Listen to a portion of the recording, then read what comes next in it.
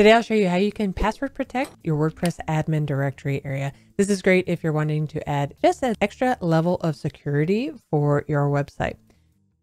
A lot of times hackers will try to log into your dashboard by figuring out your username and password. But if you limit the login attempts, then that's helpful. The other thing that you can do is actually password protect this area so that they have one extra step that they have to try and get through before they can access your site. So we're going to set something up like this where they'll have to sign in with the proper username and password, and then they'll have to know the username and password to your actual WordPress dashboard. To do this, you'll want to log in to your hosting provider. I'll be using Bluehost to show you what this looks like. Many hosting providers have something similar, so you just need to dig around and see where the directory privacy area is for yours. But if you're using Bluehost, then this will be quite simple for you as well. For Bluehost, we're looking under Advanced, and then it'll take us to this area where we can go to Files and Directory Privacy.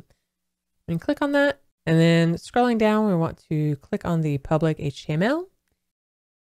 And then from here, we're looking for the WP admin area.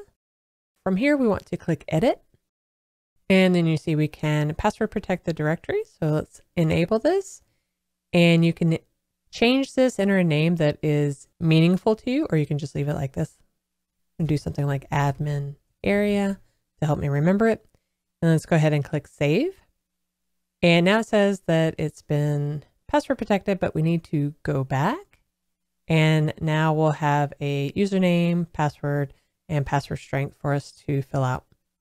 They even have a password generator that can set it up for you. So allow it to generate the password you find one that you like, say you've copied it and use it, and then it'll fill it out and tell you that it's strong. Remember to save it along with your username. You want to save it somewhere so you'll remember it. And now it is set up. So when we go to our admin area, we'll be shown this username and password. And once we do sign that in, then now we can go to our login. Now note that the username and password for this area as well as for the original area, those should be different. And so you'll want to have them saved in a separate location and remember both of those. Now that is the quickest way to do that. If you want to password protect the admin area using code, then you can check out a link in our description below for the written article on how to set that up. But for most people, this is the best way to do it for your site.